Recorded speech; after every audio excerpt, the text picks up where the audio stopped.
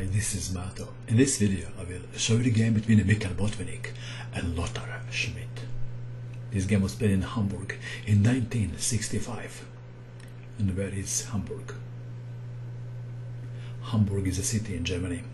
This is a very long game, and I hope you have a few hours to spare to watch the whole game. But don't worry, it takes less than 150 moves to finish the game.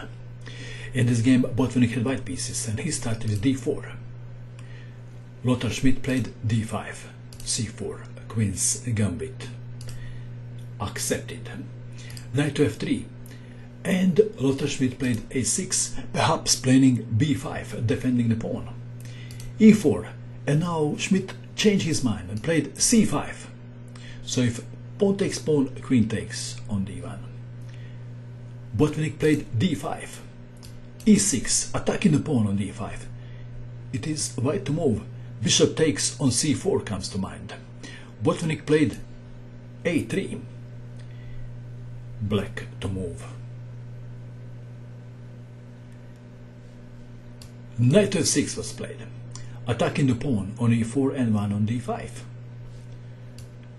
Defending both. e takes on d5. White to move to take the pawn on d5 or to push?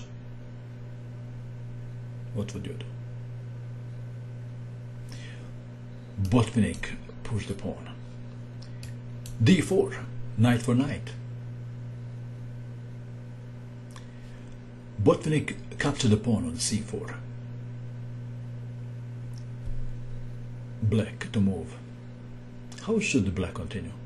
What would you do? This is very important moment for black. Perhaps knight to g4 was the best move.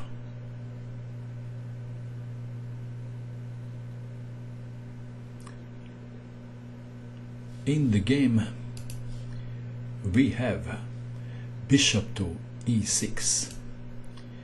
Bishop to e6 is a blunder. Why? What would you do if you had white pieces? Botvinnik captured the bishop on a6 with bishop. Pawn takes bishop. Pawn takes knight. Pawn takes knight. It is white move. What would you do? Please pause the video and try to find the best move for white. Ready? What did you find? White played a move and black resigned. Deflection tactic. This is check. Black resigned. If king takes pawn, then queen takes queen.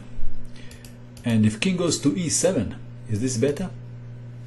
Then bishop to g5 check. And white is still winning the queen. That is why black resigned in this position. Aren't you glad that this game took less than 150 moves?